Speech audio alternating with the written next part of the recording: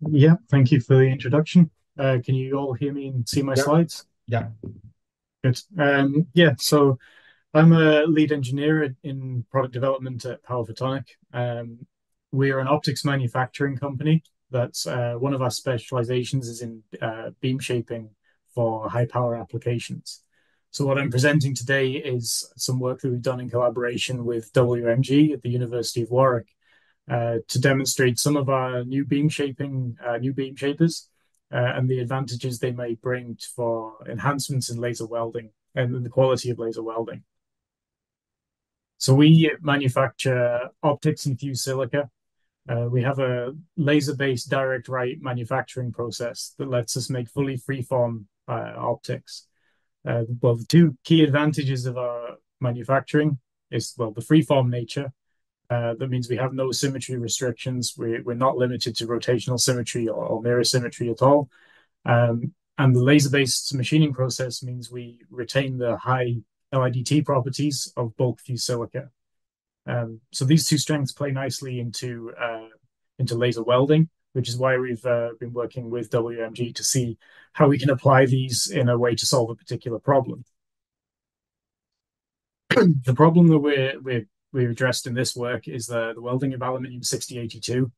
Um, as has been mentioned, the welding of some of these aluminium alloys is difficult. The current techniques use filler wire, filler wire, so you're adding extra material into the process. It's quite complicated, it can be quite wasteful. Uh, and 6082 is quite sensitive to cracking along the line that you're welding.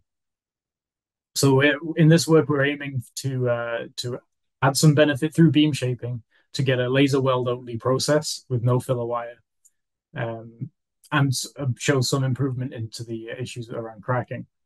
Uh, I've got the details of the optical system and the welding setup uh, in this slide, but I won't go through these line by line. I just want to highlight in particular that the the optical setup uh, was quite a straightforward modification. In the in the laser head, there's a protective window between the fiber source and the collimating lens. Uh, what we've done is taken the dimensions of that protective window and machined our optic into the same size substrate.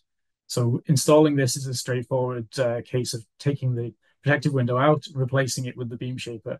There's no need to change anything in the uh, in the full optical train. There's no large components to add in, um, no no complicated systems to put in place. It's a straightforward uh, swap of a plate that is replaceable. So there's two different um, beam shapes that we're looking at here in this work. The first of them is based on our light tunnel generator optic.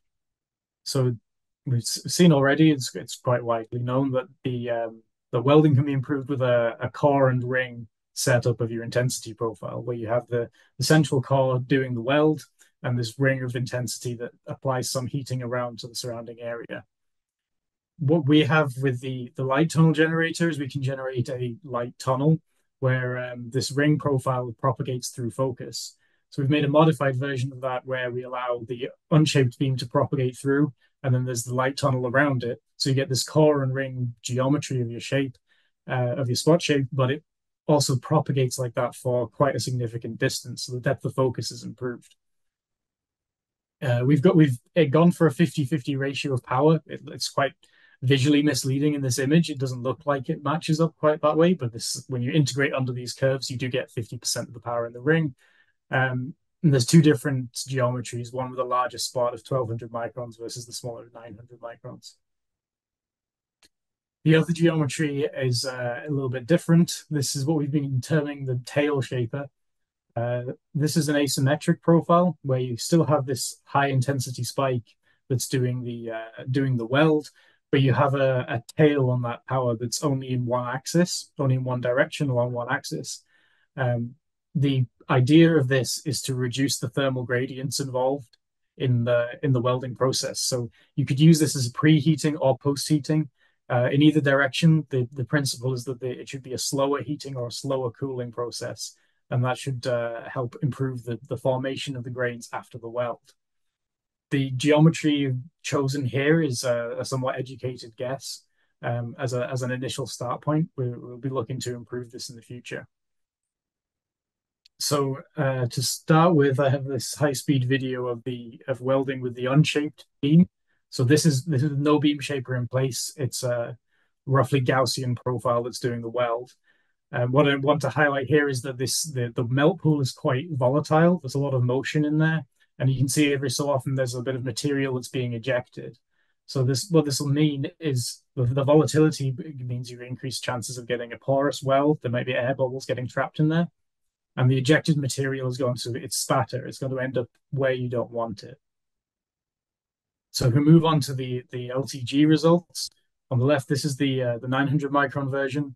Um, First thing to note is that the weld is obviously wider because you've increased the size of the melt pool by distributing more power around it. But it's also a little bit more stable. There's a less there's less motion in there. There's less material coming out. And then we have the same again for the 1200 micron case. Again, larger melt pool, um, and still appears uh, difficult to see when you just quickly flash these up. But it does appear a little bit more stable as you increase the um, the diameter of the ring that you're using for the welding onto the the tail shaper. Now we've got the, the, two different cases with the same beam shaper. We have forward tail forward for preheating and tail behind for post heating. So immediately this this is visually much better. There's a lot more a lot more stability. There's not so much motion going on behind the weld. Um, there's no material uh, being ejected as far as I can see from the video. Uh, it's very smooth looking, and the, the whole structure uh, that's forming after the weld is quite different. And then the same thing again with the tail behind. Now we're, affecting the, the cooling end uh, of the weld. Again, very smooth, uh, no ejection, and a, a, completely different profile as it's as it's cooling down. So these are, are just uh, visual images of the, the resulting welds. We've got the full length uh, of, I can't remember exactly how long, the full length of the weld and then a zoomed in image. The main thing from these is that the the volatile nature of the melt pool translates to what you get out as your your the visual quality of the weld. The unshaped beam is quite messy, quite unstructured. And then as you go to the LTGs, you've got some improvement. There's some more structure in there, and the tail shapers have a much more defined set of features. To make that a bit more quantitative, we um, have also done electron backscatter diffraction um, measurements. This is to show the actual grain size uh, in the welds immediately um, the obvious uh, thing to spot is anything that's black in these images is missing data, which would imply there's a crack. So in the unshaped uh, case, there's a, a, crack all the way down the weld line, which is the exact problem we're trying to solve. The LTG 900 case, there's there's some small amounts of cracking in there. Uh, it's reduced length, but obviously still a problem. Uh, not seen that in the 1200. We're not seeing that in the tail shaper in either orientation. We can also see that the grain size and the morphology here is changing quite a lot as you add beam shaping into the equation. So the, the LTGs improve this, or make the grain structure finer, and then the tail shapers, it's finer still. In particular, the, the rear tail shaper, we have a lot of small grains along the center line of the weld, which would imply this should be quite a strong weld as well. The tail shaper forward version still has some of this, this nice small structure. The LTG is a bit less so. We then run uh, tensile stress measurements, so testing these to the to their breaking point. Um, the weld with the unshaped uh, single core spot has a tensile strength tensile stress of about 175 megapascals, whereas for all of our shaped beams we achieve over 250. Uh, so this the finer microstructure is is actually providing a stronger uh, a stronger weld. So in the in conclusions we have uh, shown that tailoring the beam shape provides stronger welds, and that this leading, trailing, or an annular intensity um, profile for pre or post thermal treatment uh, stabilizes the melt pool and improves the weld strength. Um, you significantly affect the weld morphology, grain sizes, shapes, and orientations are changed, um, and we've achieved approximately 25% increase in the weld strength. Um, this is only a starting point. We've really just uh, shown that the beam shaping gives you an improvement, the next stages would be to find out exactly what beam shape gives you the best. There might be quite some room to optimize this based on how uh, what size of uh, spot you make, how long a tail, what intensity ratios do you use. There's a whole design of experiment to do around this. Um, so to answer the questions, what can we do for you? Uh, we provide process enhancement through beam shaping.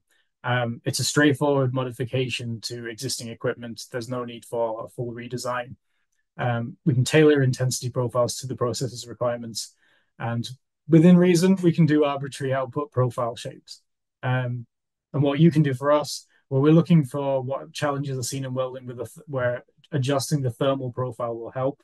We can adjust the intensity profile to match that. And we're always looking for our partners to work with us to run trials, to find an optimization, um, to, to generate the best possible profile and take this to a commercial application. Thank you for your attention.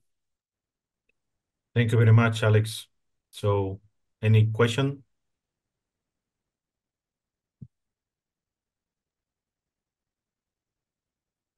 I, I have a question regarding your tail shaper uh, yeah. optic.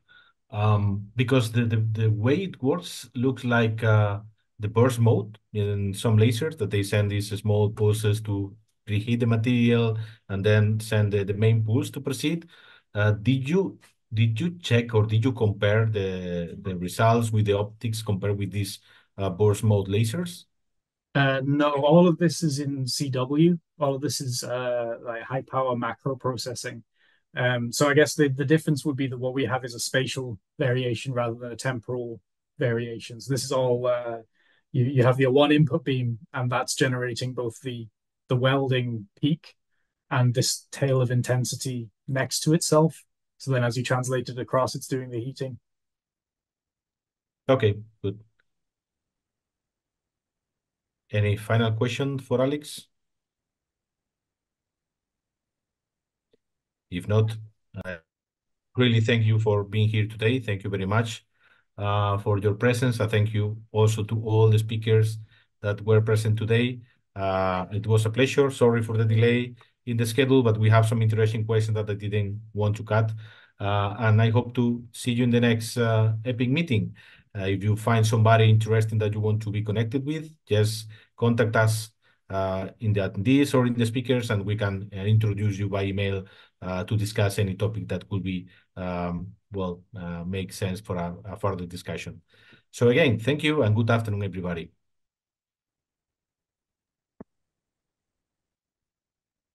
Bye, Eugen. Good afternoon,